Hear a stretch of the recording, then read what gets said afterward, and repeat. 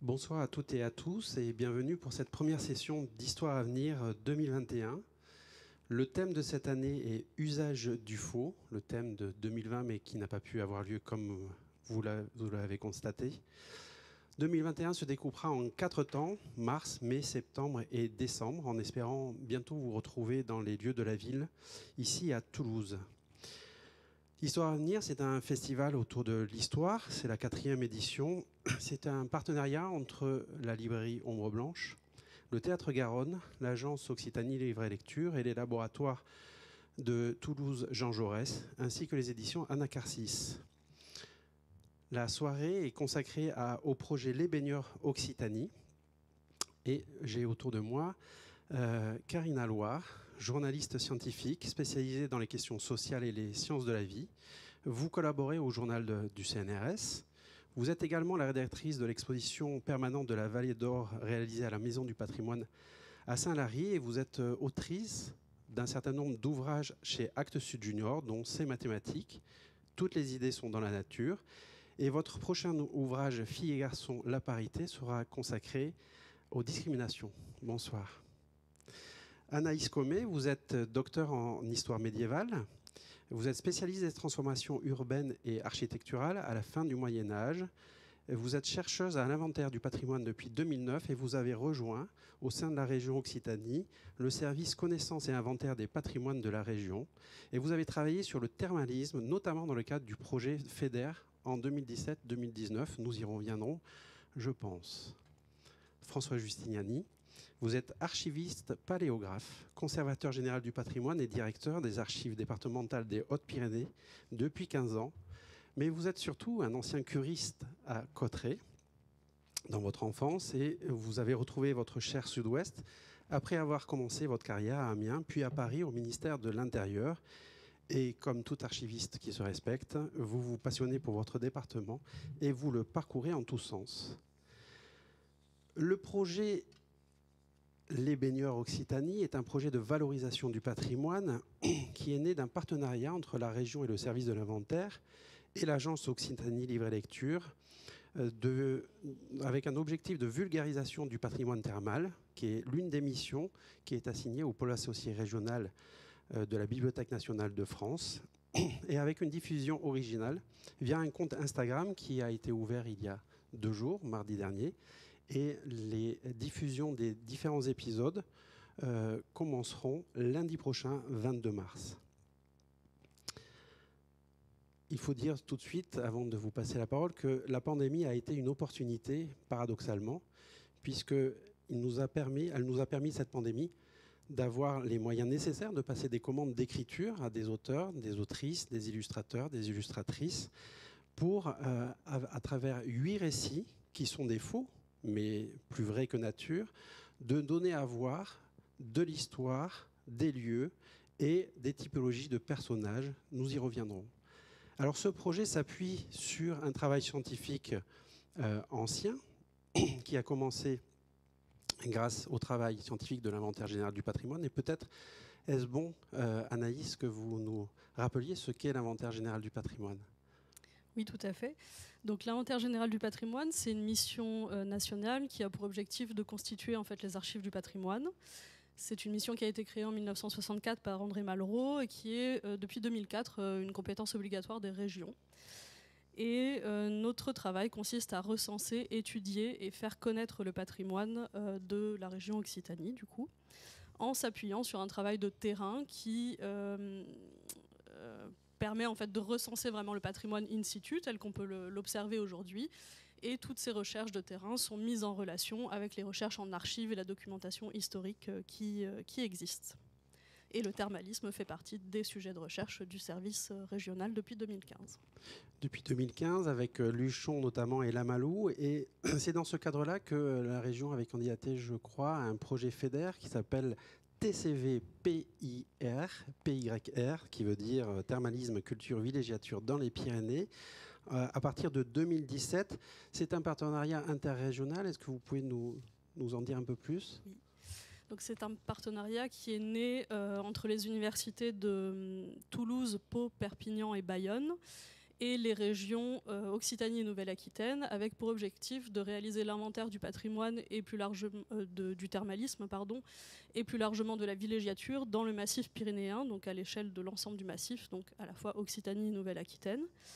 Et pour cela, il y a trois chargés d'inventaire du patrimoine bâti et mobilier qui ont été recrutés donc, euh, de 2017 à 2021. Là, on est vraiment sur les dernières semaines du projet ainsi qu'une chercheuse sur le patrimoine culturel immatériel et aussi, euh, dès le départ, euh, la volonté de transmettre toutes ces données en fait, euh, au plus, grand public, avec le recrutement aussi de quelqu'un dans un laboratoire d'informatique.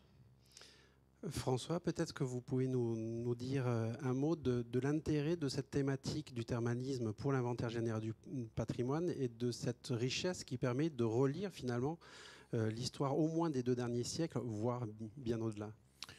Je pense que l'intérêt, euh, l'intérêt aussi, il a été avant tout géographique, c'est-à-dire de sortir de la logique de la logique des régions et de revenir, je dirais, sur une sur une logique de chaîne, puisqu'effectivement le, le phénomène thermal, il est à peu près identique euh, sur l'ensemble, d'ailleurs même au-delà de la chaîne pyrénéenne. Euh, mais c'est vrai que ça a permis de mettre, euh, de mettre en, valeur ces, lieux tout à fait spécifiques que sont les stations thermales, qu'il s'agisse de stations anciennes ou de stations euh, créées au, 19e siècle, parfois d'ailleurs déjà sur, des, sur des, des, bribes de pratiques thermales plus anciennes avec effectivement la, comment dire, la mise en place donc, de véritables villes nouvelles euh, donc avec un, patrimoine bâti, avec une, une qui s'est prolongé d'ailleurs tout au long du 19e et du 20e siècle.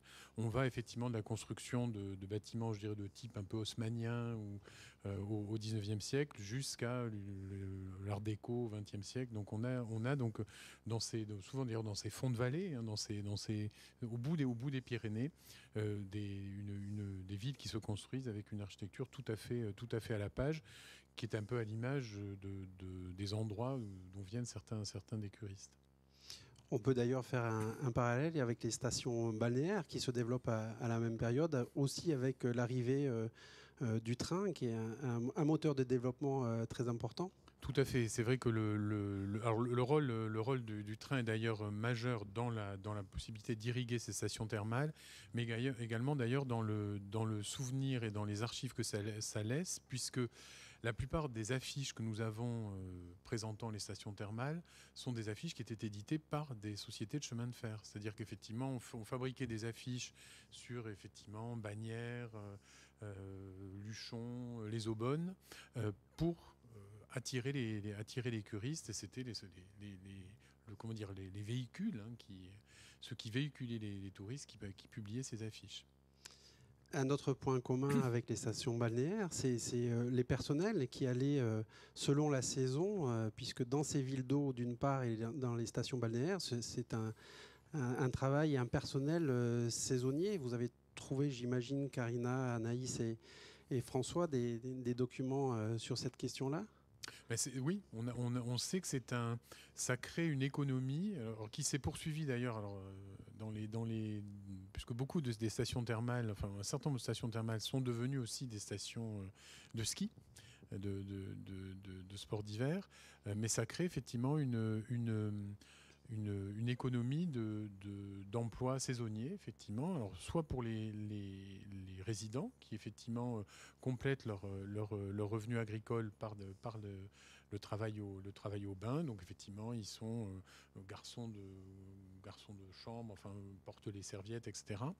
Euh, mais aussi par, l'arrivée la, de professions qui viennent ponctuellement, les médecins par exemple, les médecins thermaux, encore au XXe siècle, les médecins thermaux sont des gens qui ont une, éventuellement un, cabinet en ville, euh, à Bordeaux, à Toulouse, ou dans toutes les, villes du sud-ouest, et qui font la saison, qui viennent pour la saison à euh, à Cotteret, à Luchon, euh, accompagner leurs malades. Une autre caractéristique euh, commune, c'est le privilège des, casinos. Et là, on, se rend compte que le pyrénéisme, la découverte de la nature, c'est une découverte ambivalente. C'est à la fois, on va à la montagne pour se régénérer, aussi parce que le choc esthétique, on, connaît tous le, cirque de Gavarnie, euh, procure des émotions qui, vont être favorables à la guérison euh, des malades, mais il y, a, aussi un thermalisme plus, mondain, plus ludique, plus touristique. C'est le début du, tourisme moderne. Euh, Anaïs, est-ce que vous avez pu aussi... Alors c'est effectivement euh, quelque chose qu'on constate et ce sont des, bâtiments qui sont généralement euh, très monumentaux, y compris dans des petites stations finalement où on ne s'attendrait pas forcément à les trouver. Et c'est là aussi où notre travail d'inventaire du patrimoine a été intéressant euh, de prendre en compte aussi la question de la villégiature, puisqu'on ne s'est pas arrêté aux établissements thermaux. C'est vraiment l'ensemble des stations qui a fait l'objet d'une étude, jusqu'à ce type d'équipement, mais aussi euh, tout ce qui est parc et jardin, qui était essentiel aussi à la vie euh, dans ces stations, à la fois la vie mondaine et à la, cure directement, puisqu'il était recommandé par tous les médecins de, de, se promener dans ces parcs et jardins pour euh, une meilleure euh, efficacité des eaux en fait. La promenade, effectivement, est l'une des, activités les, plus saines et d'accompagnement euh, du curiste, en tous les cas plus saine que, le casino et la tentation du jeu. D'autres pratiques, c'est les pratiques théâtrales, les, pratiques sportives, évidemment, qui doivent renforcer aussi, aussi les corps.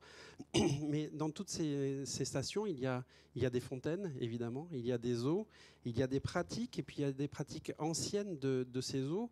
Et euh, je crois qu'à l'écran, vous avez eu les, établissements euh, du Breuil, mais euh, dans les inventaires que vous avez pu consulter sur Axe les Thermes, Karina, vous avez eu des, différentes ressources sur l'utilisation des eaux. Est-ce que vous pouvez nous, en dire un mot? Oui, effectivement. donc Occitanie Livre donc, avait mis à disposition donc, de chaque auteur euh, un certain nombre de ressources, donc il y en avait euh, énormément, pour à la fois donc, nourrir le récit, s'imprégner de, l'atmosphère donc, de la belle époque des, des termes. Donc on a, on a eu accès effectivement à l'inventaire euh, donc réalisé par, en partie par Anaïs, donc qui est une espèce de, qui est assez intéressant parce que c'est un, espèce de panorama, un peu des vestiges du thermalisme de l'époque ce qui pouvait éventuellement nous donner l'idée euh, d'imaginer une fiction euh, se passant aujourd'hui avec des évocations euh, du passé. Il y avait aussi énormément de choses. On avait, nous avait donné aussi des ressources sur Gallica, donc la célèbre plateforme qui est vraiment une mine d'informations, où là on pouvait avoir accès. moi, je, devais faire justement, enfin j'avais la partie profil sociologique du médecin. Donc là, sur Gallica, donc il y avait par exemple la Gazette des eaux qui est qui était en fait le magazine de l'époque qui traitait beaucoup de, médecine thermale. Et il y avait euh, toutes les monographies qui étaient passionnantes dans le sens où en fait souvent elles étaient rédigées par les médecins euh, de, la station et donc euh, qui avaient un point de vue très très intéressé sur le sujet. Et en général ces monographies donc soit elles célébraient les, vertus des eaux, elles vantaient les distractions, elles mettaient en avant les équipements thermaux qui étaient toujours évidemment de pointe.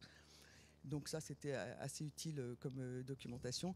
Et ensuite, donc, il y avait aussi des documents sur la vie ordinaire en fait de, de la station. Et c'est là justement, puisque moi je m'intéressais donc à Axe-les-Thermes, où j'ai vu qu'il y avait énormément de fontaines à Axe-les-Thermes. Mais Axe-les-Thermes, en fait, c'est un peu une, station qui, euh, elle, a 60 sources. Ce sont les, les, eaux les plus chaudes.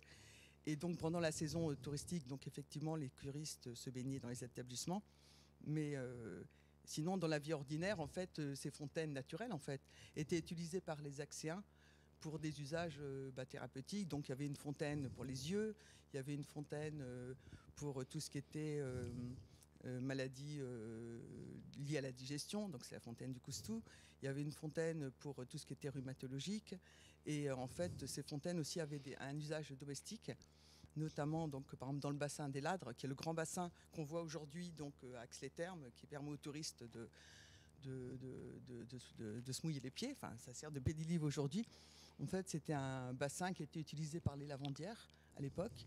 Mais il y avait aussi d'autres fontaines spécialisées, par exemple, pour, euh, pour peler le cochon, pour euh, saigner le cochon. Il y avait une autre fontaine qui était aussi utilisée pour cuire les œufs, parce qu'évidemment, avec l'eau chaude, pour laver les légumes.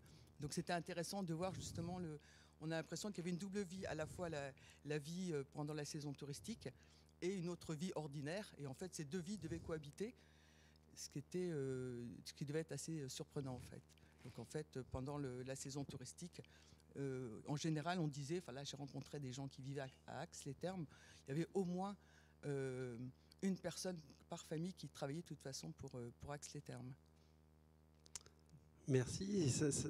ces différents usages cohabitaient, mais il y avait aussi des, conflits d'usage entre les, usages ancestraux et puis ce nouveau tourisme, d'autant plus s'il est mondain, et à Axe, il était plutôt mondain, puisque les, et à Axe, en tous les cas, les indigents et euh, les populations moins, moins fortunées n'étaient pas trop euh, accueillis à bras ouverts, mais c'est à peu près le cas dans, toutes les, dans toutes les, stations euh, des eaux. Et Barège s'est spécialisé, on y reviendra tout à l'heure, sur, sur les militaires, en tous les cas les soldats, pas les gradés. Euh, ce qui a permis aux autres stations de se développer peut-être un peu plus. En tous les cas, c'est ce qu'elles ont pensé.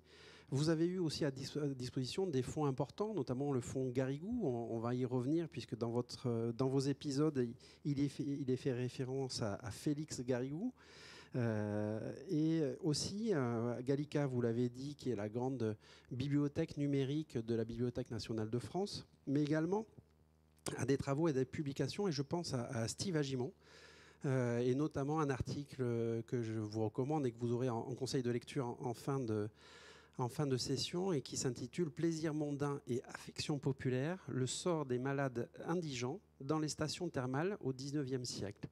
Alors c'est intéressant de, rapprocher euh, mondain et indigent parce que, euh, on l'a dit, c'est une relecture du 19e et du 20e siècle que le développement de ces stations thermales et de leurs bienfaits.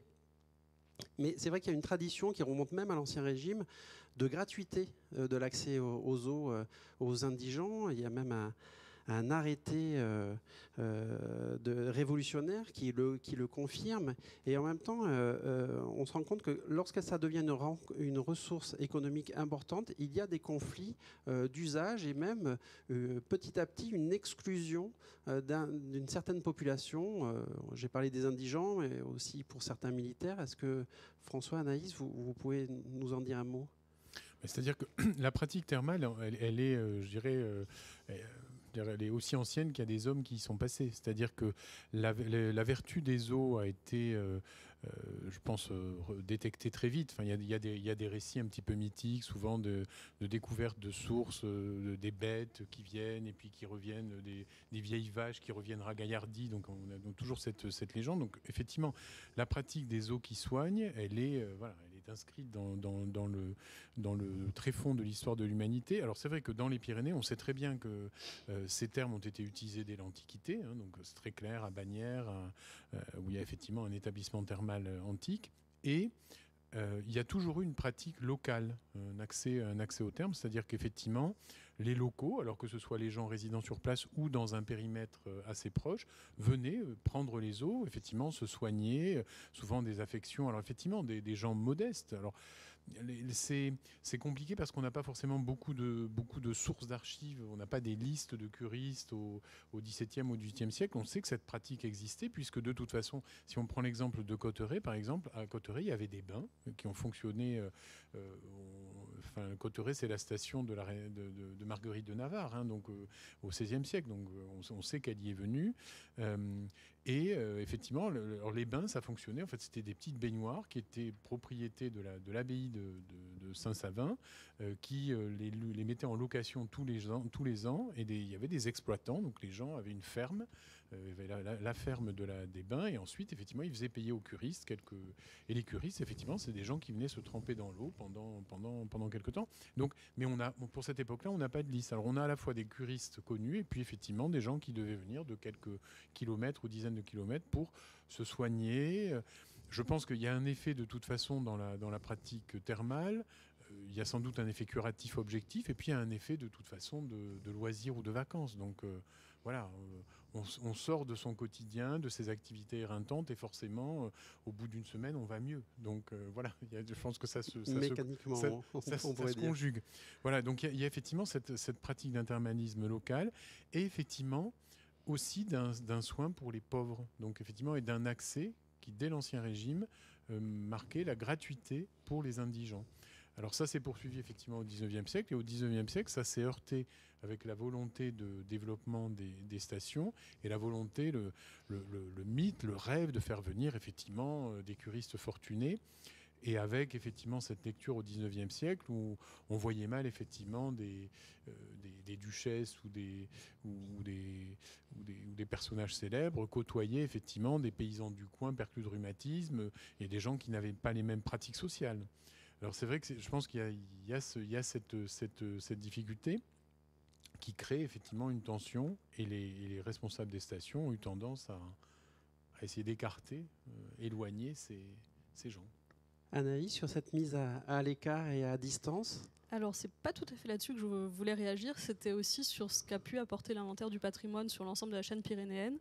C'est de mettre en avant, au-delà en fait, de ces stations qui ont euh, cette clientèle mondaine, on va dire, et, relativement riche, euh, l'existence de quelques toutes petites stations où là, vraiment, euh, l'ère d'influence, on va dire, et de, de, de, résidence des personnes qui venaient dans ces toutes petites stations, je pense notamment à Ginol, mais euh, il y a d'autres exemples. Euh, voilà, ça a permis de montrer qu'on a aussi, même encore au 19e siècle, quelques petites stations d'influence locale. Et pour rebondir aussi sur ce que disait François sur l'usage vernaculaire, on va dire, de ces eaux en plein air, bien sûr le bassin des Ladres à Axe, mais en fait on a aussi tout un tas de sources d'eau chaude qui sont plus ou moins aménagées dans la montagne sans que ça ait donné lieu à à vraiment une monétisation en fait de, de cet usage et à la naissance de stations thermales comme à Mérins par exemple où on a six bassins qui sont quand même aménagés dans la forêt mais euh, sans euh, autres constructions autour. On peut penser aussi au bassin de César? Je crois que vous nous avez amené un, un visuel. J'allais citer euh, tout de suite sur ce que disait Anaïs la fontaine de Craste à Asté, dans les Hautes-Pyrénées, qui est encore aujourd'hui euh, où les gens vont régulièrement se baigner. C'est un, bassin euh, long d'un chemin et on, y guérit des maladies de peau, donc les gens y vont pour, se soigner. Et sinon, un très bel exemple de ce que pouvaient être éventuellement ces petits établissements thermaux, alors je leur fais de la publicité gratuite, les, les, bains de secours à Rébénac euh, dans les, dans les Pyrénées-Atlantiques, qui sont effectivement, et je pense que c'est un des derniers bâtiments de bains traditionnels, c'est-à-dire qui était exploité par une famille qui habitait dans ce vallon. C'est un tout petit bâtiment, il y avait cinq baignoires.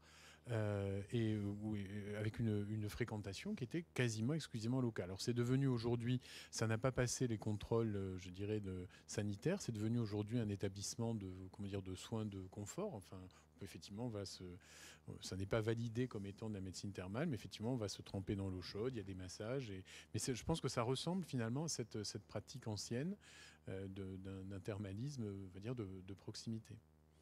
Et de médication euh, traditionnelle. Et de médication traditionnelle. Et effectivement, sur, sur cette euh, mise à distance, soit des pratiques vernaculaires, soit des indigents, soit des, militaires, hein. vous, vous, nous avez amené aussi une un très beau dessin que vous venez euh, d'acquérir.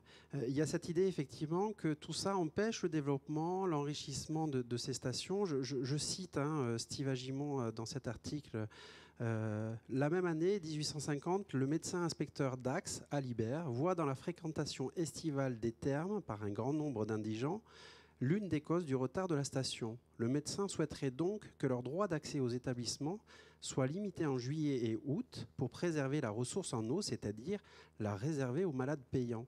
Et donc tout le 19e siècle jusqu'au début du 20e siècle, il y a ce mouvement de compartimentage, euh, de mise à distance de, ces populations.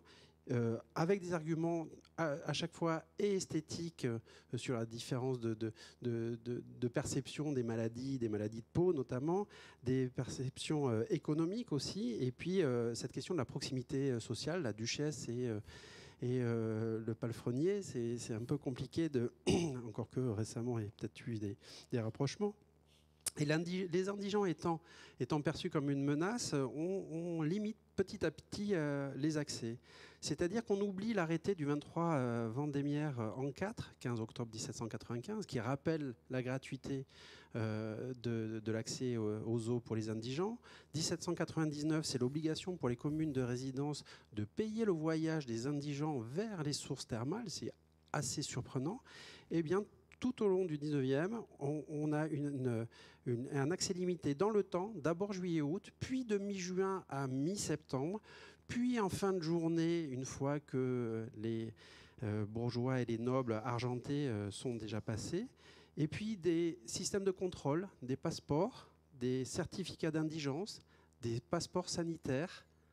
C'est étonnant mmh. comme l'histoire nous rappelle aussi l'actualité. Et puis les rassemblements, c'est-à-dire qu'on rassemble dans les hôpitaux les indigents ou euh, les pauvres gens, mais c'est aussi le cas pour les, militaires. Les militaires, les militaires alors c'est vrai que c'est aussi une pratique ancienne, hein, la, pratique des eaux, c'est ce qu'on appelait les eaux d'arquebusade, c'est-à-dire qu'effectivement, euh, alors c'est essentiellement Barège ou, dans, les, Pyrénées qui était effectivement la station, des, militaires blessés, alors c'était censé effectivement améliorer la, cicatrisation et la, recalcification des eaux brisées. Donc effectivement, euh, Barège, c'est la, en fait la construction dès le XVIIe siècle d'un hôpital militaire pour accueillir effectivement les, militaires blessés qui, euh, étaient envoyés en, cure. Et c'est vrai que ça a permis euh, de, fixer, je dirais, à partir du moment où il y avait effectivement cette, cette pratique à Barège, les autres stations ont eu, ont eu le, jeu facile de renvoyer en disant chez nous on soigne pas très très bien les fractures, vaut mieux envoyer les, militaires à Barège. Donc euh, effectivement ça permettait de les, de les, de les renvoyer sur Barège. Mais c'est vrai qu'en parallèle avec cette, cette euh, comment dire, cette évolution du public souhaité dans les stations thermales, il y a aussi effectivement un investissement et une modification du, je dirais que c'est peut-être ce qui a permis aussi le développement. Enfin, en tout cas, ça accompagne le développement. Et le dessin sur les bains de, sur les bains de, César euh, à Cotteret, qui, a, sans doute été, été passé, qui, était effectivement un document qu'on a acheté très récemment dans la vente d'une collection d'une grande famille de collectionneurs béarnais. Cette, cette, cette, image des bains de César, enfin des, termes de César, c'est les anciens termes de César, c'est-à-dire c'est les, les, sources originelles qui sont bien au-dessus du village de Cotteret actuel. Et au XIXe siècle, tout l'aménagement thermal a consisté à amener ces eaux plus près du village, euh, dans une zone beaucoup plus accessible, et à construire les grands thermes de César, ce qu'on connaît aujourd'hui euh, au, centre de Cotteret. Alors que vous voyez effectivement sur le dessin, euh, on a un tout petit établissement, alors comme il, comme il en existe effectivement encore à certains endroits, mais aujourd'hui, ça n'est plus en fait qu'une prise d'eau pour amener l'eau au grand terme. Et effectivement, l'accessibilité est l'un des enjeux, et l'accessibilité par le train, on verra dans le premier épisode, on parle du train des Parisiens qui arrive à la belle saison. Mais pour euh, rester deux minutes encore sur les, sur les militaires, euh, il y a même des lettres, je pense à Bagnères de Bigorre, euh, d'habitants qui se plaignent au sous-préfet, au préfet, et qui remettent même en question les qualités de l'eau de Bagnères pour soigner, la plaie, les plaies des, des militaires, puisqu'en fait, l'hospice, l'hôpital civil a été transformé juste après la campagne d'Espagne, campagne napoléonienne, en hôpital militaire. Et donc, il vont réussir, ces habitants, à faire en sorte que ces militaires, qui ne sont pas dégradés, qui ne sont pas très bien les, bienvenus à Bagnères, soient un peu repoussés plus loin, vers Médouze, vers les grottes de Médouze. Et je, là, c'est moi qui interprète, mais comme quand on va à Médouce, et si on pousse un tout petit peu plus loin, on va à Baudéan, et Baudéan, c'est le village natal euh, de Dominique Jean euh, Larré, qui est le grand médecin euh, de, Napoléon. Donc il y a peut-être aussi un, petit clin d'œil. En tous les cas, les militaires non gradés n'étaient pas les bienvenus, ils sont un peu comme les indigents. C'est une, population, une population dangereuse. Hein. Ce sont des, hommes déjà, essentiellement et, uniquement. effectivement, pas toujours policés, qui éventuellement euh, boivent, vont au cabaret, enfin, ont des, ont des, comportements qui, ne, qui dénotent. Et alors, effectivement, si on peut les tenir à, les tenir à l'écart, alors effectivement, les, les, les vont gagner, hein, puisqu'il n'y aura même pas d'ailleurs d'hôpital militaire à Médouce. On continuera à renvoyer les militaires vers, euh, vers Barège et à garder effectivement à Bagnères une, une, fréquentation plus, va dire, plus familiale et, et plus plus notable. Ça, c'est très euh, Bagnères. d'ailleurs, cette, pratique thermale est intéressante parce que dès le XVIIIe siècle, elle a transformé pour, les Hautes-Pyrénées Bagnères en petite capitale culturelle. C'est-à-dire qu'à Bagnères, on a, à la fin du XVIIIe, au début du XIXe siècle, des salons euh, puisqu'effectivement, on a, on a un certain, euh, un monde un peu intellectuel qui vient. Donc, effectivement, il y a des auteurs, il y, a des artistes. Et donc, effectivement, les, quelques, quelques familles organisent des, salons, donc on, se, retrouve pour discuter de sujets, pour faire de la musique, etc. Donc c'est une pratique qui n'est pas du tout euh, traditionnelle, euh, voilà, qui n'est pas du tout une pratique provinciale. C'est vraiment une importation. De la même manière d'ailleurs euh, que, par exemple, la première loge maçonnique qui est créée dans les Hautes-Pyrénées, c'est à Bagnères. Et sans doute d'ailleurs là par des militaires, par des gradés militaires qui effectivement viennent avec leurs pratiques. et c'est pas du tout à Tarbes, qui est une ville, c'est la ville de l'évêque et c'est une ville commerçante. C'est pas du tout là qu'on va trouver ce, ce, développement culturel. C'est pas c'est pas par là qu'arrivent les Lumières. Alors, je vous propose de, passer à la deuxième partie euh, pour nous mettre dans l'ambiance. Donc, la deuxième partie, euh, récit de fiction sur le thermalisme, c'est la commande qui a été passée donc à, huit auteurs et autrices euh, et illustratrices. Il s'agit de produire un faux récit comme une fantaisie à partir de tout ce matériel scientifique, de l'inventaire, toutes ces études historiques, ces articles, ces fonds, ces photographies, ces lithographies également.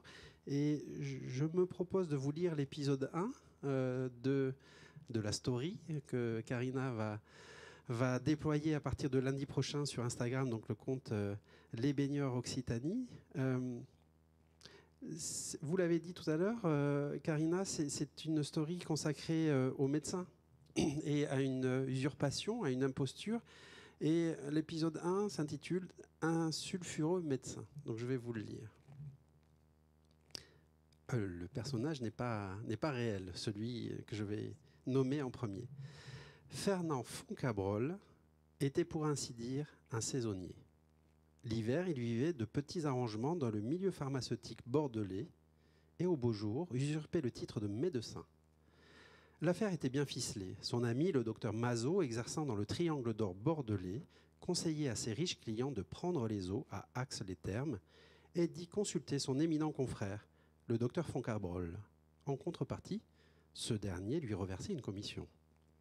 C'est ainsi que Fernand arriva dans la petite station ariégeoise en mai 1905. Il était un de ces nombreux médecins étrangers qui prenaient leur quartier d'été dans les villes d'eau. Comme tous les matins, il prit la rue du Coustou, longea l'hôpital Saint-Louis. Une forte odeur d'œuf couvé caractéristique des œufs sulfureuses chaudes émanait du bassin des ladres. Des lavandières frottaient leur linge, l'une d'elles le héla. Avec tous ces baigneurs arrivés par le train des Parisiens, vous avez du pain sur la planche, docteur. Oui, la saison allait être bonne. Alors on retrouve le bassin des Lades, on retrouve le train, le train des Parisiens qui amène la clientèle. Et puis là, un usurpateur, un, imposteur du titre de docteur. Euh, comment vous vous êtes documenté sur Axe, non pas sur euh, Fernand Foncabrol, que vous avez inventé de toutes pièces, mais euh, on retrouvera tout à l'heure euh, Félix Garrigou, qui lui a bien existé. Donc vos sources d'inspiration, de recherche, comment vous êtes documenté? Eh ben, En fait, on avait, enfin moi j'avais, chaque auteur avait des contraintes. On en avait plusieurs. D'abord, il y avait une contrainte de temps qui était donc de retracer un peu, de, oui, de retracer un peu l'histoire de la ville donc à belle époque, moi j'avais axe les termes, et ensuite on avait chacun donc un profil sociologique. J'avais le médecin, et en plus je devais, dans la mesure du possible, c'était pas une obligation, essayer d'introduire euh, le docteur Garrigou, Félix, euh, qui lui était bien réel et qui est en fait le père du, thermalisme. Donc bah oui, je me suis documenté bah, donc euh, ce que je vous disais tout à l'heure, c'est-à-dire en, consultant pas mal de documents donc sur cette fameuse plateforme Gallica. Ensuite, j'ai rencontré aussi euh, des, collectionneurs, donc, euh, comment, donc, comment s'appelle-t-il?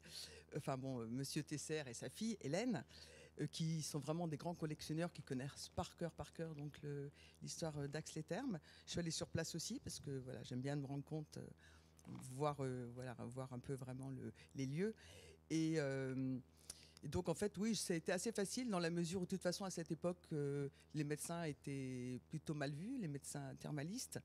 Donc on les considérait euh, comme des charlatans, donc des faux médecins. Et même le docteur Félix Garrigou, qui était lui un, vrai de vrai et qui voulait vraiment défendre la médecine thermale, considérait donc ces, médecins qui œuvraient l'été dans, les villes thermales de, charlatans, de commis voyageurs, d'hommes euh, malhonnêtes. Donc voilà, l'idée de du faux médecin, mais, mais, mais vite, euh, mais arrivé très vite. Et d'autant plus qu'en plus, on sait très bien que dans toutes ces stations euh, thermales, donc, qui était fréquenté par des aristocrates, des bourgeois donc, de l'époque. Il y avait aussi énormément dans, leur sillage beaucoup de charlatans, beaucoup d'aventuriers qui en profitaient en fait pour faire les poches des, riches curistes. Donc ça me semblait euh, assez simple d'inventer le faux médecin. Pour le reste, en fait, je me suis appuyé vraiment sur des. Enfin, à part le faux médecin, tout est vrai. Enfin, j'ai pris le parti de rien inventer du tout. C'est-à-dire que le, récit, euh, se déroule dans les, dans les, quatre établissements qui ont réellement existé. Il y avait quatre établissements thermaux. De la même façon, j'ai introduit euh, le médecin inspecteur qui effectivement existait à l'époque, qu'il était, ils étaient, il était chargé de, surveiller la, qualité des bains, la, qualité des soins, et c'était un peu le, grand chef de, la station. Donc, euh, donc je me suis inspiré de tout ça.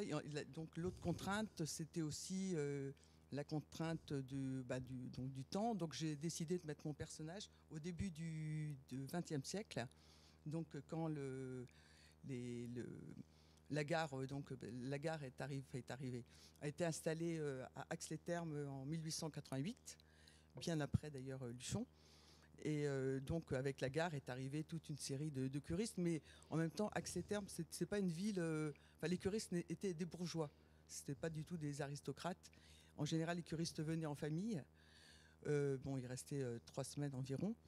Et donc c'était pas une ville très mondaine, absolument pas. Donc il y avait des guinguettes, il y avait des orchestres, il y avait des cercles de jeux, mais le casino est arrivé bien après, bien après Luchon par exemple.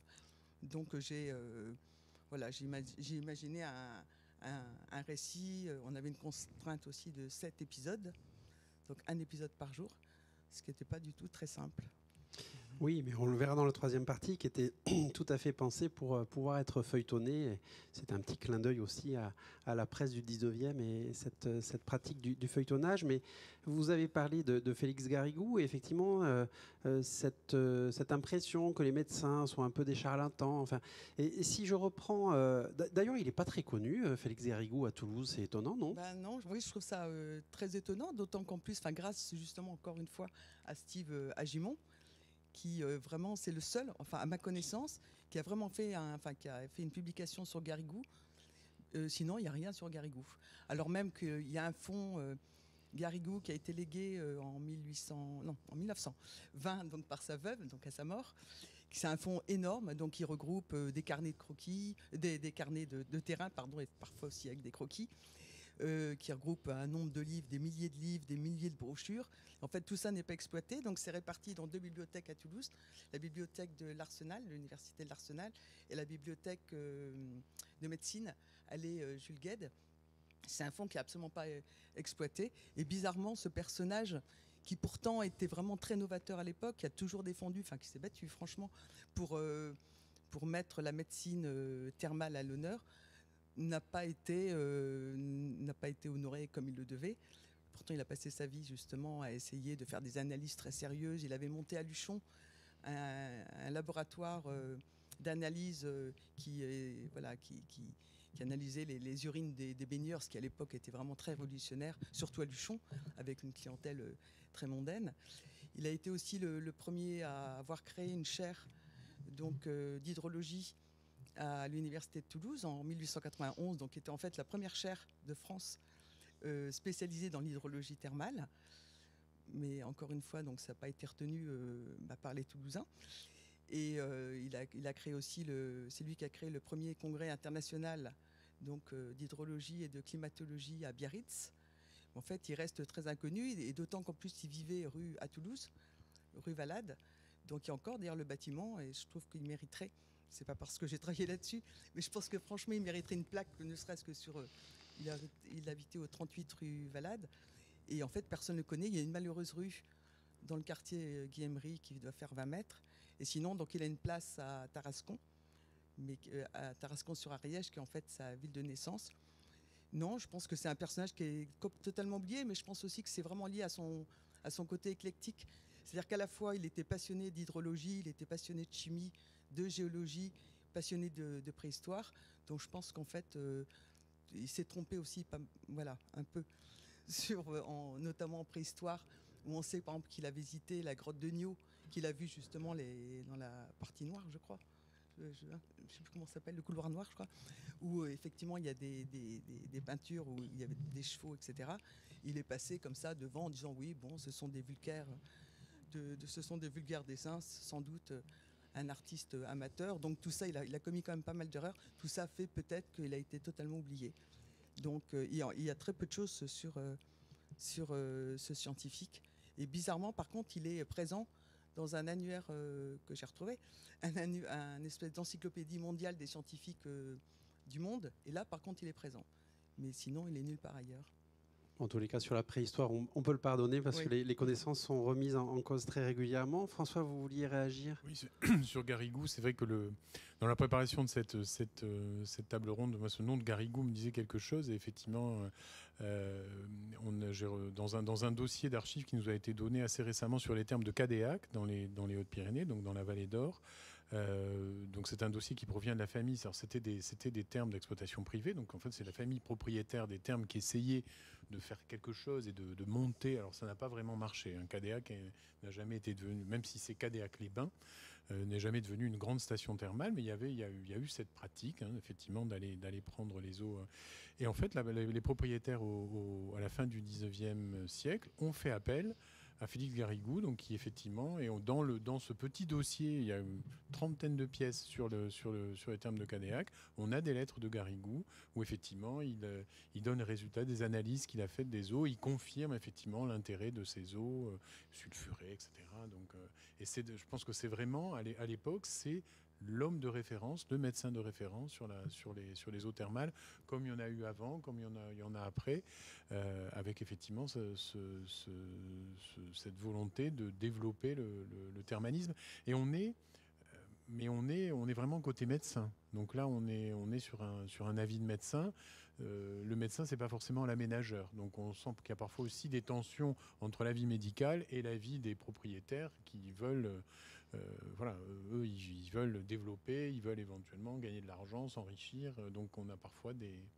Et avec une recherche de, légitimation scientifique, je, reprends euh, un résumé de thèse. Hein. je n'ai pas lu la thèse de Carole Caribon, qui s'appelle Du thermalisme mondain au thermalisme social, les villes d'eau françaises dans l'entre-deux-guerres 1919-1939, et où elle dit que tous ces scientifiques, tous ces médecins, n'ont eu de cesse euh, de, rechercher une légitimité scientifique, euh, d'être reconnus comme hydrologues, que leur matière soit euh, scientifiquement validée. et, c'est vraiment quelque chose qu'on retrouve, y, compris avec la climatologie d'ailleurs. je reviendrai en, lisant le, cinquième épisode de, la story de, de Karina.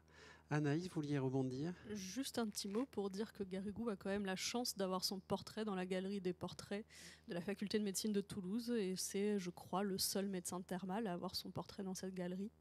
Donc il n'a pas de reconnaissance euh, large, on va dire, mais il a été au moins reconnu euh, euh, par ses pairs à un moment donné.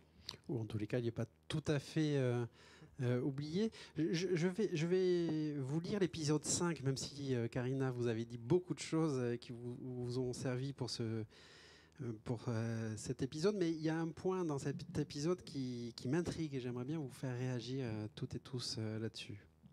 Épisode 5. Le docteur Félix Garrigou était une sommité dans le petit monde des eaux. Natif de Tarascon-sur-Ariège, ce médecin était aussi géologue et chimiste. Il avait ouvert sa propre école d'hydrologie médicale à Luchon, dotée d'un laboratoire des plus modernes, qui analysait les urines des baigneurs. Et il a organisé le premier congrès international d'hydrologie et de climatologie de Biarritz en 1886. Mais ce qui lui valait la reconnaissance du pays et de ses pairs, c'était la création en 1891, bien avant l'Allemagne, de la première chaire d'hydrologie médicale à la faculté de Toulouse. Fernand l'avait appris par son ami médecin bordelais, fervent admirateur du docteur Garrigou, qui, pour la circonstance, lui avait confié l'ouvrage signé du savant intitulé Études chimiques et médicales des eaux sulfureuses d'Axe. Alors, ce qui m'interroge vraiment dans, ce, passage-là, euh, parce que ça fait écho à une autre story d'Albert Mans qui traite euh, des, éléphants au, moment du passage d'Hannibal qui auraient laissé des bouses, barbouiller les bouses. C'est une rivalité franco-allemande qu'on retrouve d'ailleurs dans la thèse de, Carole Caribon, qui dit qu'en fait, il y a un modèle français thermal très différent du modèle thermal germanique. Euh, c'est-à-dire que le modèle thermal français défendait une stricte spécialisation des stations et donc des eaux. Vous en avez parlé un tout petit peu au début avec euh, telle fontaine pour les yeux, telle fontaine pour les rhumatismes, telle fontaine pour les, maux de ventre, etc. Et, je me dis quand même, ça accompagne aussi une histoire bien plus large d'un conflit qui, se trame, qui se noue, qui se rejoue. Euh, qu'est-ce que vous en pensez de ce conflit franco-allemand? Je pense que de toute façon, à l'époque de Garrigou, il est majeur. Hein. Tout est sujet de concurrence avec l'Allemagne après 1870. Euh, et effectivement, euh, sur tous les sujets, on se compare à l'Allemagne, euh, on fait mieux. on de toute façon, on doit obligatoirement faire mieux. Enfin, la, France vit dans cette, dans cette. enfin, il faut imaginer ce que c'est qu'effectivement l'esprit de revanche après 1870, dans cette, perte de l'Alsace-Lorraine.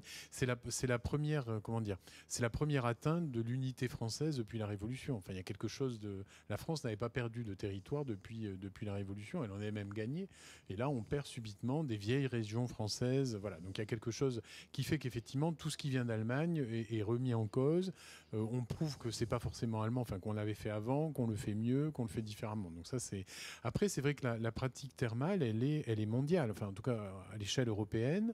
Euh, elle est euh, comment dire elle est là où il y a des, sources, hein, c'est-à-dire en France essentiellement les massifs donc les Pyrénées, massif central, les Vosges, mais on, sait très bien effectivement que cette pratique elle existe bon en Grande-Bretagne, Bath, d'ailleurs la, ville euh, porte, porte le nom.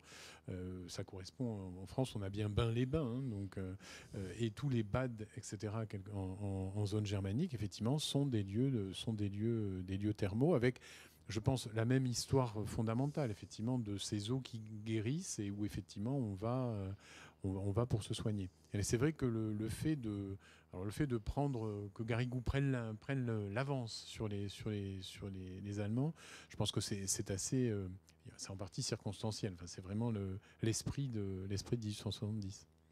C'est vrai que ça sera peut-être renforcé après 1918, euh, puisque on sait que par exemple à Tarbes, euh, les, les casernes sont, sont installées là et les usines également parce qu'elles sont loin de la frontière allemande. C'est sûr que plus loin, ça devient compliqué. C'est vrai que la, défaite de 1870, elle a eu ce, paradoxe effectivement d'enrichir les régions, les régions loin du, loin du front, puisqu'effectivement on a, on a dans la, fin du 19e siècle installé des industries. Alors euh, les industries, on les installe au, au pied des Pyrénées parce qu'on est loin du front potentiel. Enfin, on est vraiment bout de l'arrière hein, par, rapport, à la future guerre avec l'Allemagne.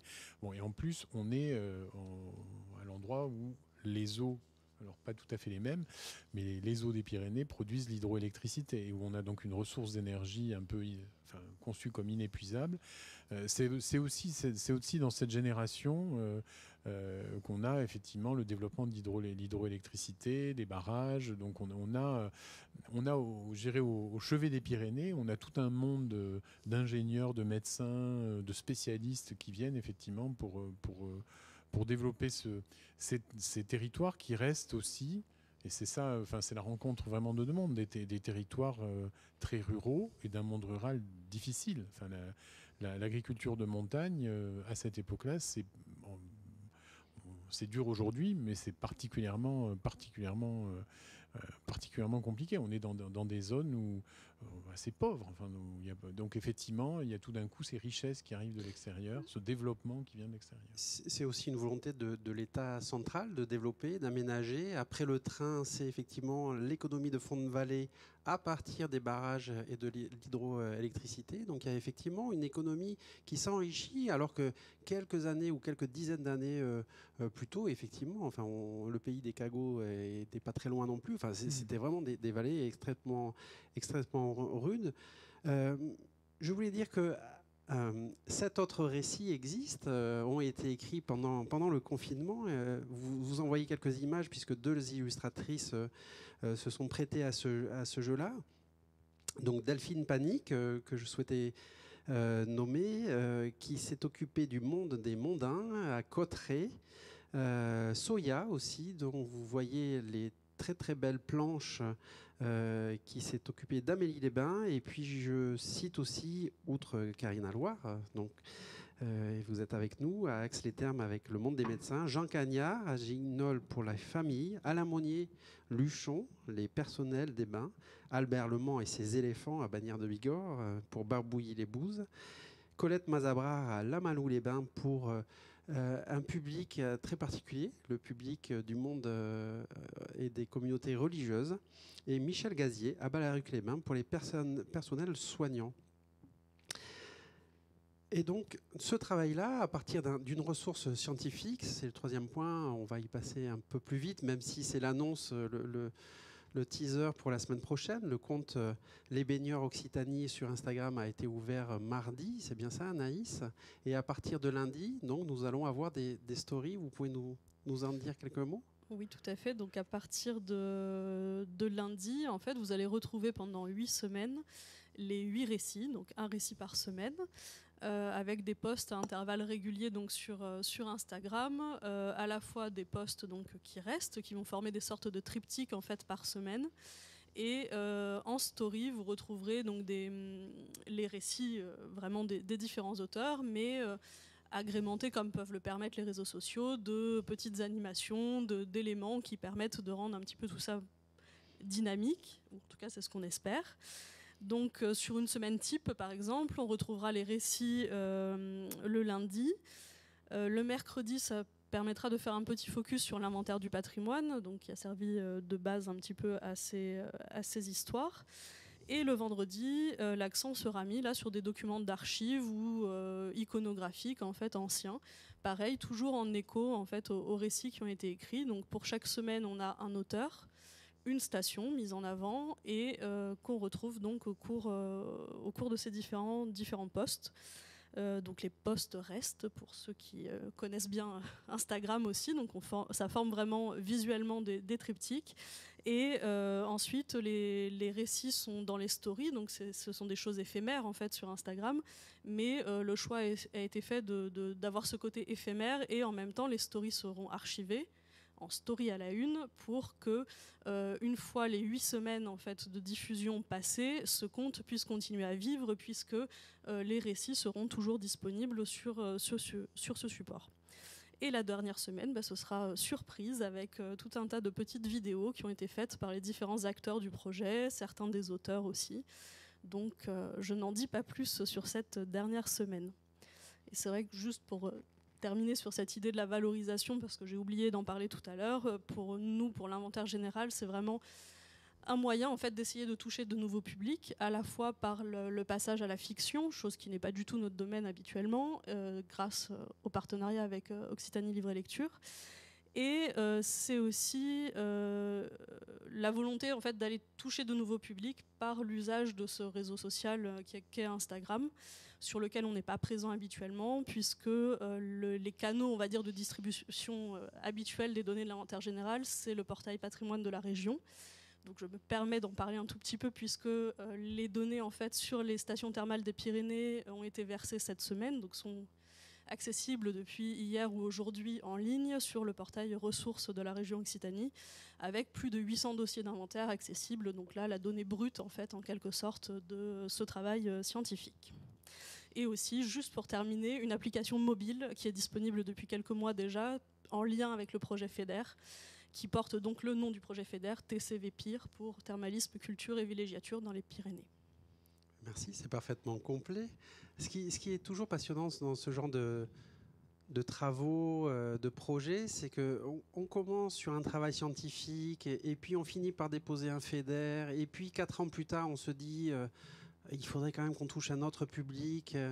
Euh, et puis il y a une pandémie qui arrive, et puis nous, on se dit, on a réussi à faire des économies grâce à cette pandémie. Bah, si nous passions des, commandes d'écriture, euh, tout ça pour dire que effectivement, l'histoire, l'archive, euh, l'inventaire se, nourrit aussi de rebonds. Et je sais que dans les salles de, la future, des futures archives départementales, il y aura des salles aussi de rencontres avec le public, d'expositions, d'accès à des ressources numériques je dois dire aussi qu'avec l'histoire à venir, le fait de démultiplier les accès à ces stories, aussi sur le blog de Gallica, hein, puisqu'on ne l'a pas dit, mais j'en profite.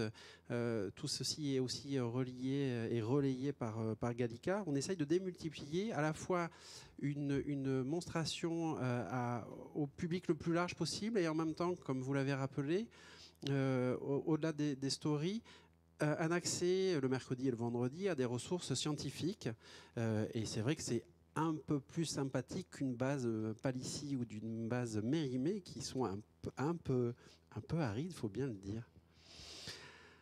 Euh, je me tourne vers la régie pour savoir si nous, nous avons quelques, quelques questions. On me demande de patienter, donc je vais, vous, je vais poser une question sur euh, après le passé, le présent, le futur Est-ce que, est que euh, après ce passage du thermalisme mondain à un thermalisme social, on sait qu'après euh, après guerre, euh, avec le Conseil national de la résistance, les jours heureux, 1947, la sécurité sociale, tout un mouvement aussi de, salubrité publique avec l'envoi de colonies dans, les Pyrénées ce moment-là a faibli euh, depuis 20 ans, 30 ans, et on essaye de euh, miser sur une autre forme de thermalisme, un thermalisme euh, peut-être de masse, en tous les cas, un thermoludisme que l'on voit renaître, notamment à Bagnères.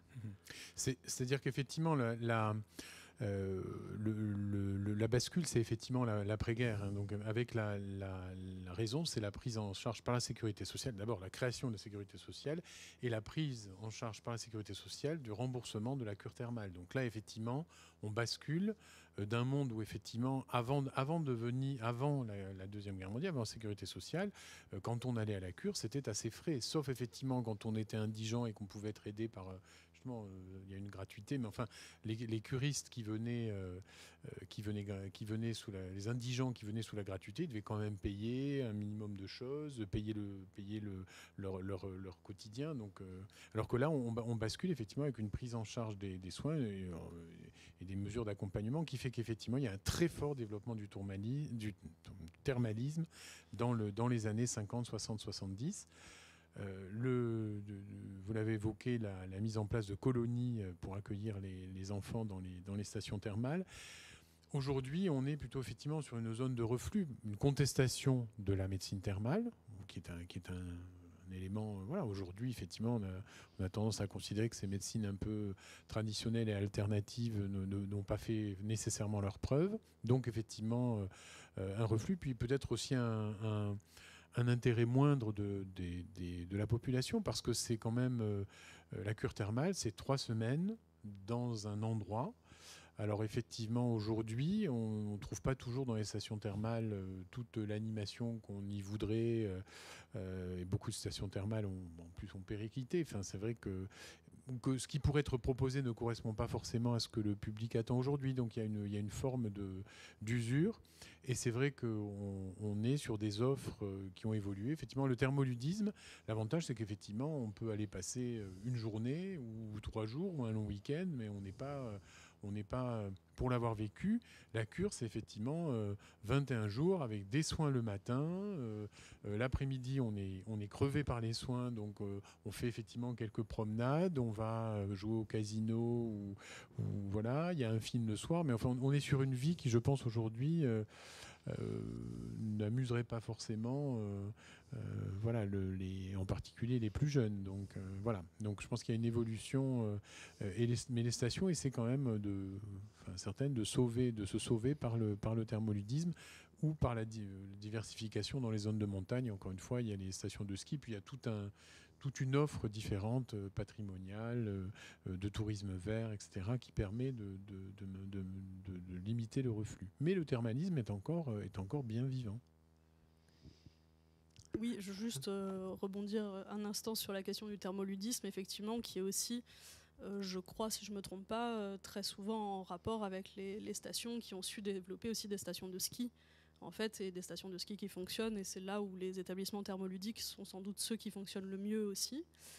Et après, pour parler aussi de, peut-être en un mot, même si ce n'était pas du tout la question, de la poursuite en fait des recherches sur le thermalisme dans la région, pour ce qui est de l'inventaire, on a, parlé là essentiellement des stations, des stations pyrénéennes, un petit peu des stations de, de l'Hérault, mais en fait, il y a aussi tout un chantier qui est en cours et qui est ouvert euh, au niveau du service régional sur les autres stations de la région Occitanie, puisqu'on en a dans le Gers, bien entendu, mais aussi quelques-unes dans l'Aveyron, le Lot, la Lozère. Donc, euh, on espère d'ici quelques années avoir couvert l'ensemble des stations thermales de la région Occitanie qui est euh, donc cette question du thermalisme importante aussi pour nos collègues d'autres directions et d'autres services, comme justement les questions du, tourisme notamment et du développement de, ces territoires. Merci. Alors, Christelle Parvillier, que je salue euh, et qui est de la région Occitanie, euh, a compilé quelques questions qui sont arrivées. Alors, je, ne résiste pas à la gourmandise de commencer par les questions un peu sulfureuses. la première, c'est je cite. alors, toutes les questions sont anonymes, donc je, le prends comme tel. Là, je ne sais pas si c'est du second degré. Les stations thermales avaient-elles une réputation sulfureuse à cause du soufre? Et je, euh, ne sais pas si on a trouvé des statuettes euh, de la déesse Méphitis, mais j'en doute. Mais autre question, euh, mais qui, qui a peut-être un lien. Est-ce que les bains ont servi de lieu de rendez-vous à des pratiques libertines et ou homosexuelles? En tout cas, quand je suis allée à Aix-les-Thermes, donc j'ai rencontré donc euh, les, fameux Tessers qui ont plein d'anecdotes euh, sur le sur le passé donc d'Aix-les-Thermes.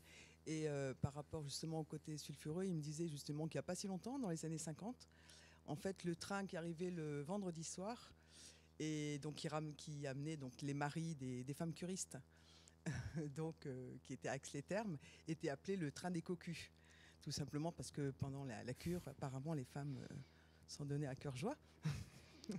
Donc les eaux thermales font, font, pousser les bois, si je comprends bien. voilà, c'est tout à fait ça. C'est sur, le, sur, sur, sur, ce, sur ce thème et avec, avec, euh, avec le sourire, on, raconte que le prince impérial euh, est né neuf mois après une, un passage de, de, de l'impératrice Eugénie, qui était quand même pas connue pour être quelqu'un particulièrement euh, particulièrement dévergondé, mais euh, qui aurait été effectivement. Euh, Alors pour reprendre un terme policé, embombré, qui est le terme de l'ange Gabriel pour, pour Marie. donc, mais qui c'est une, une, hypothèse. en fait, elle, elle, aurait été prise par une terrible, terrible orage. Elle était obligée de se réfugier chez, chez un berger pyrénéen qui lui a fait l'enfant que Napoléon III n'arrivait pas à faire. Alors voilà, ça fait partie des, des, des histoires qu'on raconte.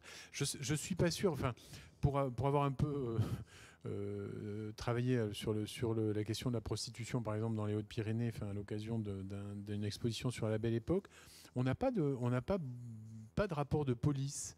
Euh, sur les stations thermales. Enfin, il n'y a, a, pas de. en tout cas, ça n'est pas. Alors, ça n'est pas parce qu'il n'y a rien dans les archives que ça n'existe pas. Parce que c'est ça aussi la recherche. Hein. C'est-à-dire qu'effectivement, euh, la recherche, on l'a fait avec les sources qu'on peut avoir, qui peuvent être diverses, qui peuvent être des archives, qui peuvent être des, ouvrages, des récits euh, contemporains, des correspondances, donc qui sont des archives, mais qui ne sont pas des archives officielles, éventuellement des récits que les, enfin, des témoignages hein, que les gens qui les ont vécus euh, ou, se racontent dans les dans les familles, voilà. Mais donc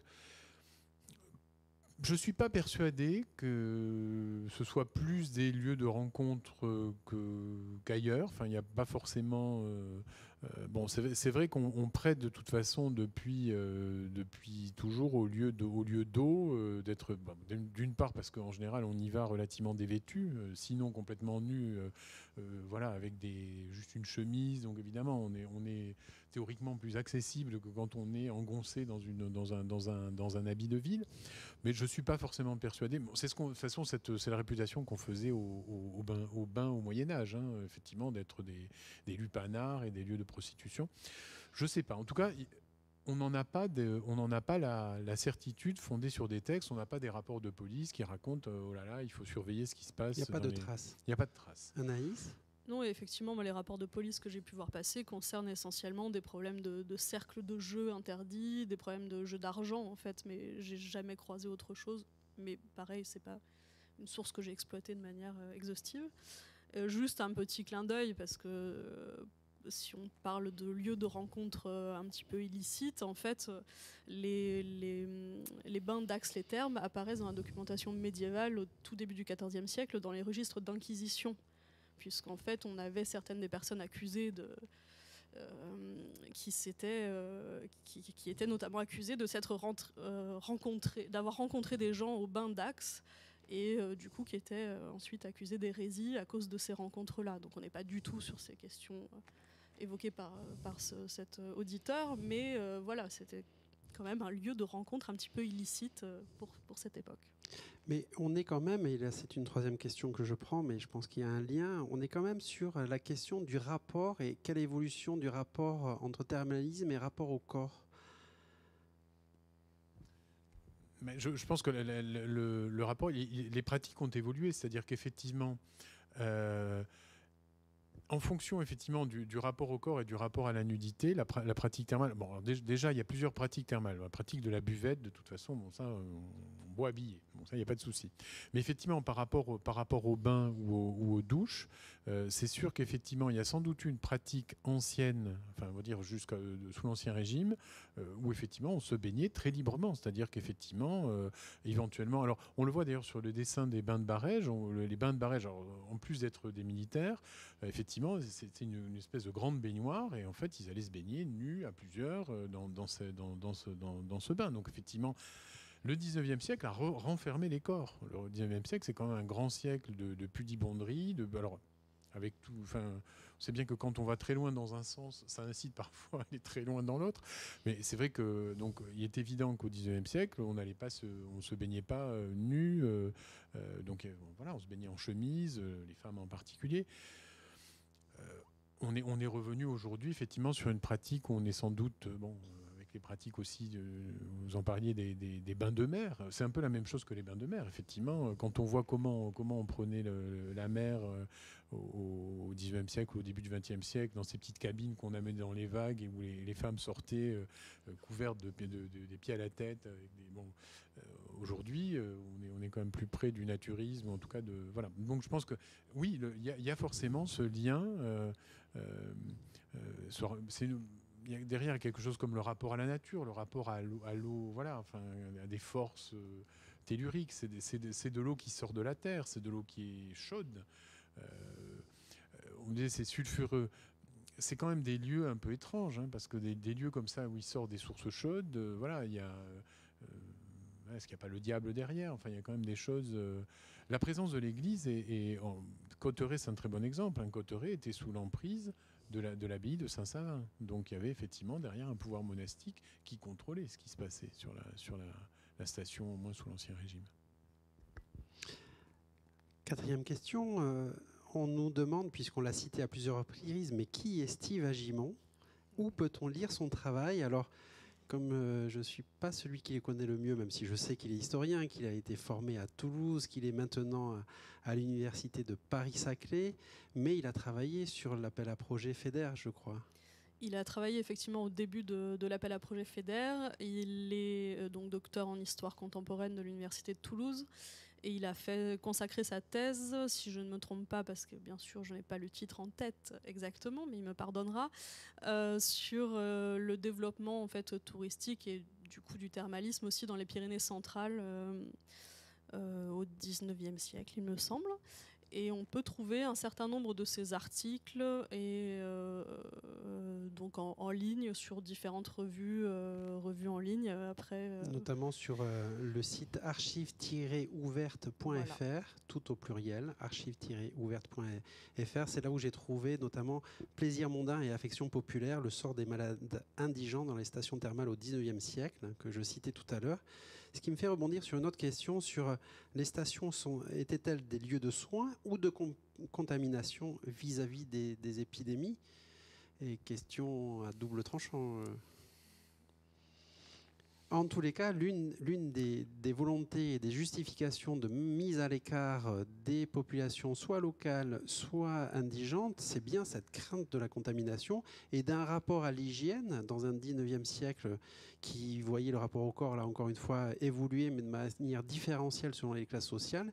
C'était euh, l'une des justifications. C'est la crainte de l'épidémie, euh, le, pauvre est, porteur de germes, de maladies de peau je, je, pense pas qu'on ait trace de, de, enfin comment dire, au-delà des, je dirais des, de la contagion ordinaire. C'est-à-dire, je pense pas qu'on ait, on ait trace, en tout cas dans l'histoire, que les stations, que les stations thermales aient été des lieux de contamination particulière. Euh, euh, voilà, enfin, même quand il y a eu, je pense au 19e siècle, je pense aux grandes épidémies de choléra, euh, ça n'a pas été ni, pire ni mieux. C'est-à-dire que ça n'a pas forcément protégé de, de euh, je, pense, mais bon, c'est à la limite de, la, croyance. Hein, je pense que pas, pas sûr tous les médecins valideraient ce que je vais dire. Moi, je pense que la, la comment dire, le, bonheur est un, médicament et qu'effectivement le fait encore une fois d'être à l'écart de sa vie quotidienne, d'être dans un endroit paisible, euh, d'être éventuellement avec des gens différents, euh, de, se rencontrer, c'est bon pour la santé. Et qu'effectivement, euh, il y a dans, la, au-delà de la, du soin objectif que peuvent, que peuvent apporter les eaux thermales, il y a aussi effectivement ce changement de quotidien. Enfin, c'est ce qu'on trouve aujourd'hui si banalement dans, le fait d'avoir des, congés, d'avoir des vacances, où effectivement on fait autre chose, on sort du quotidien. Il faut imaginer qu'on est dans une société au 19e siècle, il n'y a pas de congés, il n'y a pas de vacances. Enfin, dire, les, il y a des gens, les gens qui travaillent, ils travaillent tout le temps. Les gens qui ne travaillent pas, ils ont une vie sociale euh, différente. Mais je dire, on ne prend pas des vacances. Enfin, dire, euh, les congés payés, ça, paraîtra bien plus tard. Donc je pense que c'est une rupture dans, la, dans, la, dans, la, dans, la, dans la vie quotidienne. Donc je, je suis je, suis pas sûr qu'effectivement ça rende les gens plus fragiles ou plus en risque effectivement de, de contaminer, sachant qu'en général ce qu'on vient soigner, c'est rarement des maladies, euh, voilà, enfin, c'est pas des, forcément des maladies contagieuses. Enfin, les maladies de peau, c'est souvent des eczémas, des choses qui sont maladies respiratoires respiratoires, mais qui sont voilà. Et, et, la maladie respiratoire, enfin, c'est vrai qu'on on, on, envoie les gens à la montagne pour le bon air. Alors c'est sûr qu'effectivement, euh, les, les, tuberculeux, etc., on les tient un peu à l'écart. On est, quand même, on, sait, que c'est contagieux, euh, voilà. Mais c'est, suis pas sûr qu'effectivement on puisse, en tout cas rien ne, le prouve. Il n'y a pas de, on n'a jamais entaché les stations thermales de, ce, de cette euh, d'être un, lieu de contamination particulier.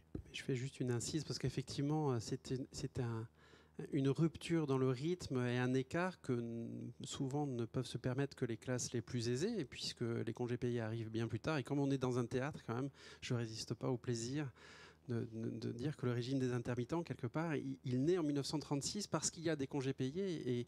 Et, comme les décorateurs de théâtre ont une multiplicité d'employeurs, on ne sait pas qui doit payer les congés payés. Et donc c'est comme ça qu'on invente un système qui existe encore aujourd'hui et on espère pour, pour longtemps et qui est une manière de traiter la discontinuité euh, du travail, mais la continuité du revenu, ce qui est assez moderne. Peut-être qu'on y reviendra un jour, je l'espère. Une question presque de provocation. Quelle différence entre les stations des Alpes et celles des Pyrénées? Est-ce que vous avez un avis là-dessus sur vos recherches? Euh, pour avoir comme ça rapidement lu l'annuaire justement des, stations euh, françaises, des stations thermales françaises, j'ai l'impression qu'elles étaient un peu en retrait, peut-être que je me trompe. Les, stations pyrénéennes, donc on parlait euh, plutôt donc de grandes stations comme euh, Vichy, dans, enfin, dans, dans, les Alpes. Les Pyrénées, c'est à part Luchon et Bagnères, peut-être? La, Sinon, on en parlait très peu.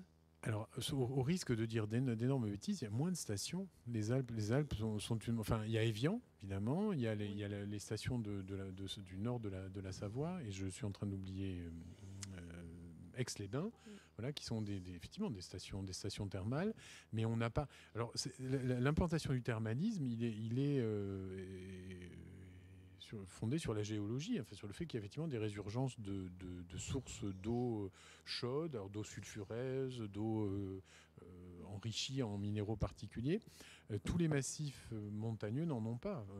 je dirais que les, les, régions, les grandes régions thermales en France, c'est le massif central, euh, les Pyrénées, le Piémont, et, Anaïs, euh, vous l'avez dit tout à l'heure, euh, bien au-delà d'ailleurs de la zone de montagne. Hein, dans, le Gers, dans la, Gascogne centrale, il y a des Castéra verduzans, etc. Le, et les Vosges plombières, etc. Donc on, a une localisation. Bon après, il y a aussi Bagnoles de l'Orne. Enfin voilà. Donc il y, a des, il y a des stations thermales là où il y a des Le Sinon, il faut aller en Suisse pour, pour les Alpes. Suisse ou vers, vers, l'Allemagne. D'ailleurs, il, il, y a des, pardon, je, vous coupe, mais mhm. il y a des stations et des bains contemporains de la fin du XXe siècle qui sont architecturalement des, des mhm. merveilles absolues dans les Alpes suisses. Et n'oublions pas, euh, les Pyrénées, il y a aussi effectivement des bains de l'autre côté, un côté espagnol, il y a, des, il y a aussi des stations, des stations thermales. Euh, le, développement, il est assez euh, identique, c'est-à-dire qu'effectivement, ben, à partir du, Second Empire, bon, c'est d'abord, c'est aussi un, c'est très lié à la personnalité de, Napoléon III et d'Eugénie, qui effectivement avaient cette pratique d'aller de prendre les eaux. Et donc effectivement, ils ont été euh, les développeurs initiaux d'un certain nombre de stations, euh, plombières, euh, euh, dans, les, dans les Pyrénées, effectivement, Saint-Sauveur, du Saint-Sauveur, où ils sont venus. Et effectivement, le fait que l'empereur ou l'impératrice ou les deux soient venus a, développé la station, comme Biarritz en, station, en station balnéaire. Donc il y a vraiment cette espèce de, on suit des, la personnalité, des personnalités. Et puis après, effectivement, ben oui, c'est un développement qui est assez, je dirais, homogène en France. Là où il y avait des stations thermales et où, où il y a eu une prise en compte par effectivement. Ça passe par, le, pouvoir politique et par les médecins.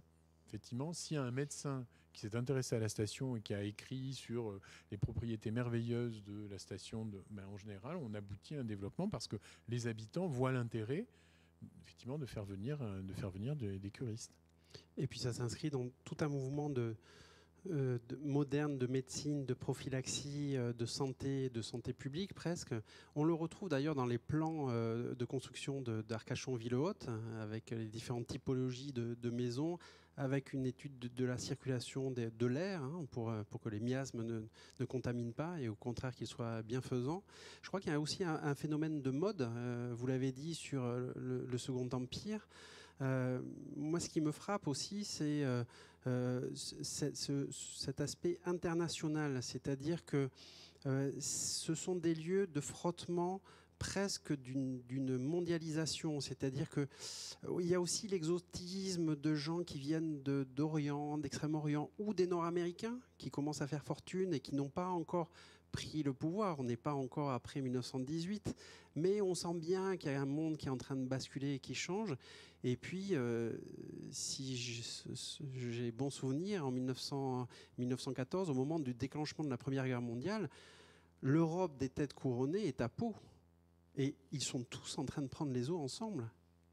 Et on sait la boucherie qui va suivre derrière. Et ils n'en ont probablement pas conscience. Le, euh, parmi les, ressortissants des puissances ennemies qui sont arrêtés euh, au, déclenchement de la guerre, puisque en août 14, on arrête sur le territoire national en France, on expulse dans certains cas, mais si on arrête effectivement les, résidents en France qui sont euh, ressortissants de l'Empire austro-hongrois ou de, l'Allemagne, on, arrête effectivement des, gens qui sont absolument qui sont arrêtés, qui sont mis dans des, dans des camps d'internement, qui sont absolument outrés, parce qu'effectivement c'est une classe supérieure européenne qui vit déjà une mondialisation. Euh, voilà, enfin, c'est des gens qui se déplacent partout, qui vont de, du fin fond de l'Empire de austro-hongrois jusqu'aux Pyrénées, en l'Espagne. Enfin, c'est des gens pour qui les frontières n'existent pas. Et donc, effectivement, subitement, tout se ferme, tout se bloque. Donc, effectivement, oui, il y a une. Et, les, stations thermales, comme les stations balnéaires, sont des lieux de rencontre, effectivement, de cette euh, gentry, de cette. Euh, de, cette, de, cette classe, de ces classes sociales, ça c'est sûr sur cette, euh, cette question de, la mondialisation, au moins d'un aspect européen de la question du thermalisme. Euh, on le retrouve en fait aussi sur l'architecture, tout simplement, quand, euh, quand Chambert, architecte départemental, est chargé de, proposer un nouveau projet pour les thermes de Luchon, par exemple. Il est en fait envoyé dans les grandes stations thermales françaises, mais aussi, si je ne me trompe pas, allemande euh, et ou suisse pour euh, voir en fait ce qui se fait et euh, comment ça fonctionne en fait dans ces grandes stations et ensuite adapter les choses sur des, sur des projets pyrénéens. Donc c'est aussi quelque chose qui existe. Là aussi, on peut relire toute l'histoire de ces 200 dernières années aussi à cette, avec ces lunettes-là. Si on prend des lunettes télescopiques, j'ai une question deux questions euh, d'ailleurs qui, ont trait à l'espace. Alors la première, c'est a-t-on une représentation par satellite des localisations des stations thermales des Pyrénées, vu la spécialisation toulousaine pour l'espace? Et la deuxième question, ça je pense que la réponse est, oui, je sais, c'est tout à fait euh, euh, possible, mais je pense pas que ça ait un lien avec la spécialisation euh, de Toulouse. Et la deuxième, alors je ne sais pas si c'est une inquiétude de, confinement ou de post-confinement, mais station thermale, station spatiale, peut-on faire un parallèle sur la thématique du huis clos? Alors moi, j'ai quand même l'impression qu'on parle, euh, dans les dessins qu'on a vus tout à l'heure, euh, notamment de Delphine Panique, euh, il y a de ces grandes promenades, il y a Victor Hugo qui se promène au, lac de Gobe. On est vraiment sur des grands espaces quand même, même s'il y a une micro-société qui se recrée. Est-ce qu'on peut parler de huis clos? Moi, je ne parlerai pas forcément de huis clos. Enfin, c'est, tout est question d'échelle, évidemment. Mais quand on se trouve dans ces stations thermales dans les Pyrénées, euh, oui, effectivement, si on ne sort pas de l'établissement et de sa chambre, on peut imaginer être en huis clos. Mais on est quand même au milieu des montagnes. Et en fait, c'est aussi le moment du développement du pyrénéisme et de cet attrait pour la montagne et pour les excursions et pour tout un tas d'autres choses en fait liées à ces excursions. Donc euh, pour moi, il n'y a, pas, a pas vraiment de, rapport, mais peut-être que François. Oui, moi je, je, je, mettrai, je, pense que la, question, la question est intéressante parce qu'il n'y a, sans doute pas effectivement un huis clos euh, spatial, au sens où effectivement on n'est pas enfermé comme dans une. Voilà, on n'est pas limité, mais il y a sans doute un, un huis clos de pratique et un huis clos social. C'est sûr qu'effectivement, euh, quand on évoquait la presse thermale tout à l'heure, effectivement, les, journaux thermaux donc, qui sont publiés dans les stations thermales, il y, a, une presse thermale spécifique, ce sont des journaux qui paraissent à la saison et où effectivement euh, on a des informations, ce que, ce que disait euh, Karina tout à l'heure, il y a effectivement le docteur Tartampion sera présent du temps au temps, il consulte à l'hôtel Majestic, voilà, et on a toutes les semaines les arrivées c'est-à-dire qu'il y, a dans le journal thermal la liste des nouveaux. Alors, il faut imaginer effectivement la pratique que c'est. On reçoit le journal et on se précipite pour voir qui est arrivé, pour voir si euh, voilà, on va aller euh, dîner chez Madame Machin ou chez voilà. Donc il y, a une, il y a une pratique effectivement sociale. Alors, qui n'est pas spatialement enfermée, mais qui est quand même très fermée. Et du coup, euh, oui, c'est quand même un monde qui vit à côté des, gens, euh, des locaux. Enfin, je veux dire, c'est quand même des, espaces sociaux qui se. Alors, ça se fréquente. Enfin, on revient tout à sur la question de tout à l'heure sur le sulfureux. Alors, oui, il y a quand même des points de rencontre, mais euh, c'est quand même peut-être un peu, quand même des pratiques. Euh, et le, encore une fois, ce que j'ai sur la, pratique thermale, c'est quand même effectivement des soins à heure fixe. C'est quand même une vie très, très réglée et avec des pratiques c'est quelque chose qu'on avait qu'on n'avait pas forcément pensé aborder, mais c'est dans, dans, ce qu'a dit Karina tout à l'heure qui m'a fait penser, c'est aussi des pratiques qui donnent lieu à des objets particuliers. Et ça, c'est quelque chose qui n'a pas forcément été beaucoup étudié, mais la pratique thermale, ça donne lieu. Euh, les, gens qui font la cure, ils ont des petits. Alors, au 19e siècle, c'est souvent des, en osier, des petits, paniers avec un verre, avec une, enfin, du matériel. Euh, qui et, et, ça évolue avec le temps. On a ensuite des choses, euh, maintenant, au, 20e siècle, c'est en plastique, etc. Et on a son petit matériel, sa pipette, son, verre de cure. donc, c'est quand même un monde, effectivement, qui vit. Alors, au 19e siècle avec la haute société qui a ses pratiques sociales. Mais encore une fois, quand on est en colo, un gamin en colo pour faire la cure dans les années 60, c'est pareil. On est en colo, on est, on est, euh, on est, on est dans un monde quand même un peu, un peu fermé, avec une, espèce de pratique sociale, je sais pas comment on peut dire, une mini-société. Mini-société. Voilà. Alors évidemment, oui, on est, on est quand même beau, voilà, on est quand même ouvert sur un monde. On, peut aller à la montagne, on peut profiter de, voilà. De, et puis une sociabilité euh, euh, transeuropéenne, un peu comme il y avait le petit, le grand tour aussi au 19e. Un peu plus tard, il y aura sur les paquebots les transatlantiques euh, qui partaient de Saint-Nazaire, de la gare maritime, pour aller vers Cuba ou vers New York, sur la Compagnie Générale des, des Transatlantiques notamment, ou la CUNAR. C'est aussi une, société qui se reconnaît elle-même.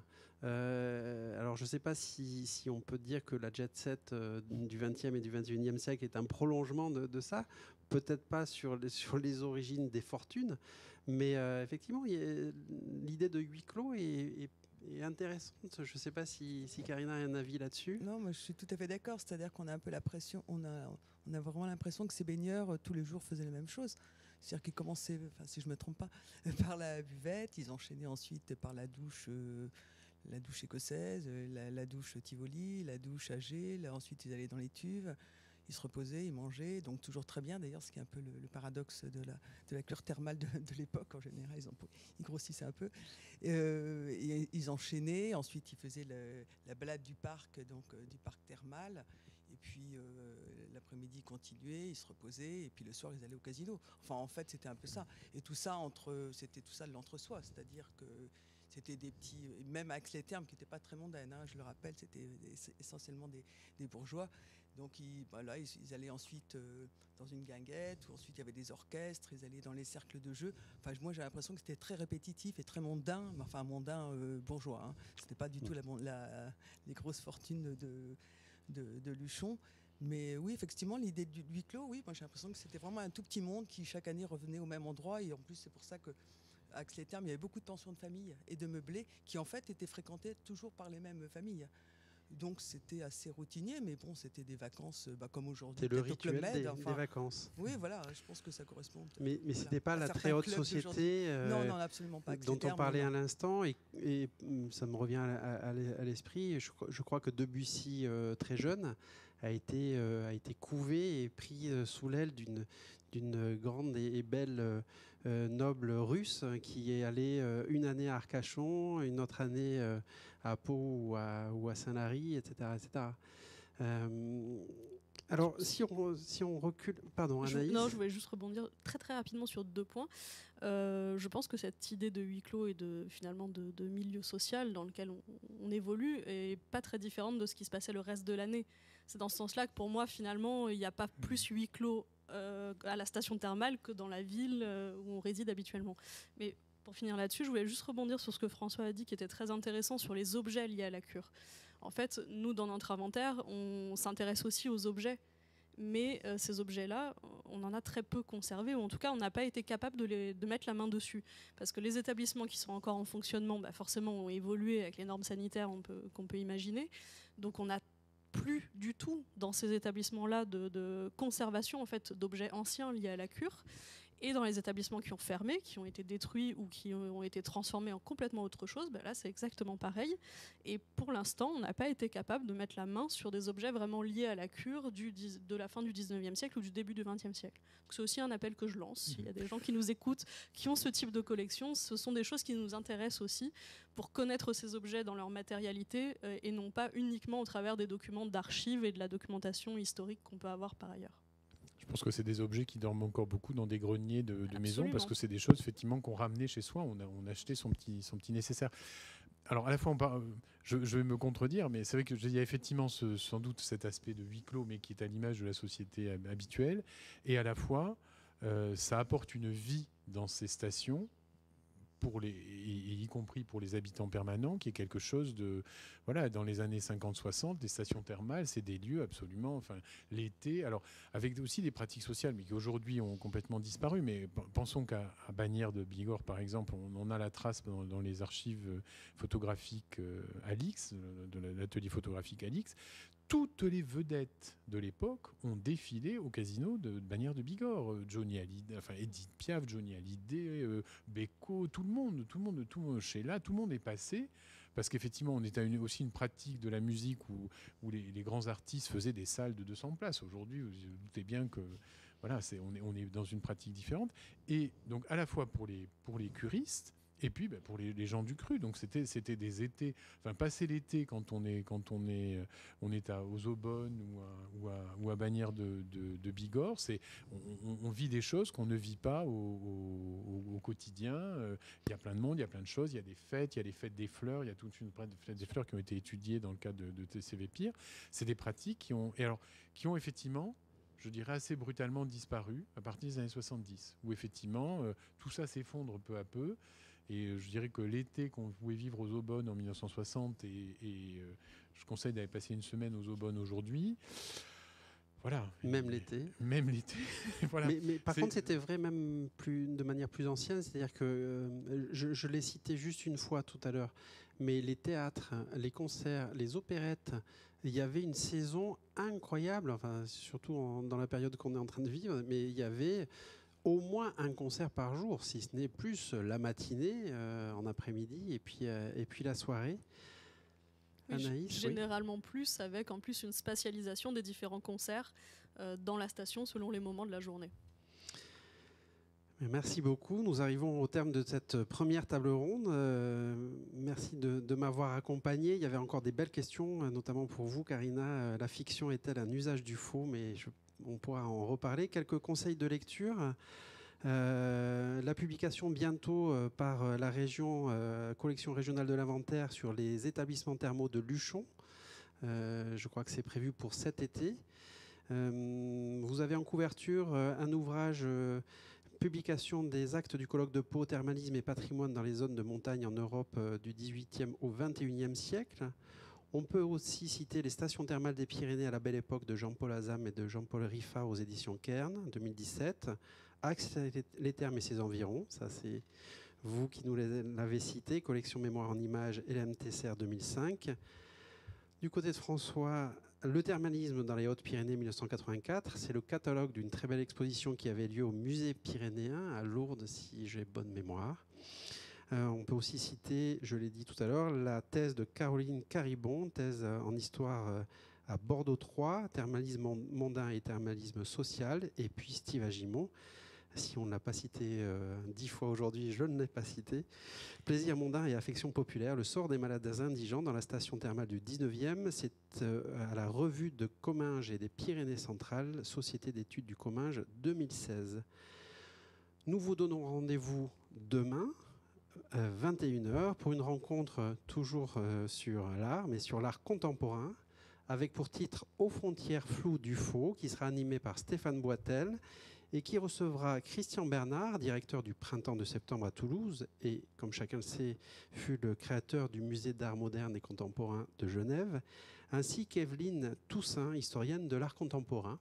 Et avant de vous quitter tout à fait, je voulais remercier d'abord nos intervenants, mais aussi l'équipe euh, qui a rendu possible cette euh, table ronde, Nicolas Saris, Marie Bataillon, Alexandre Lagarne et toute l'équipe de la régie. Bonne soirée.